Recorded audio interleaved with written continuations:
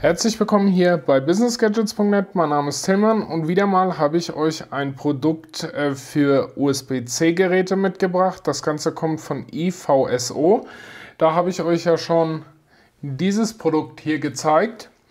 Das Ganze ist jetzt ein USB-C-Adapter, wo ihr drei USB 3 Anschlüsse und ein Gigabit Ethernet Port habt. Die Verpackung ist schon ähnlich wie bei dem Vorprodukt jetzt gestaltet.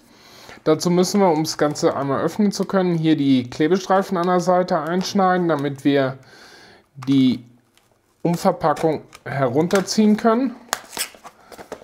Und das machen wir jetzt auch einmal und schauen uns an, was sich äh, so in der Verpackung befindet. Wir haben hier das Gerät selber und ein Kurzanleitung, wo das Ganze nochmal näher beschrieben ist. Wie gesagt, bei dem Ganzen handelt es sich um ein USB-C auf drei USB 3 Anschlüsse und einem Gigabit Ethernet Port.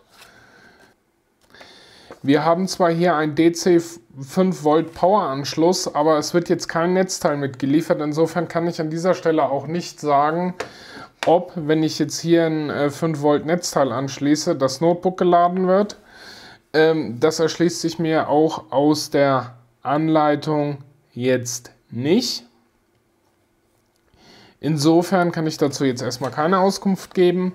Das soll es jetzt hier an dieser Stelle auch gewesen sein. Wie immer, wenn euch dieses Video gefallen hat, einmal Daumen hoch, Fragen unten in die Kommentare. Wir sehen uns im nächsten Video.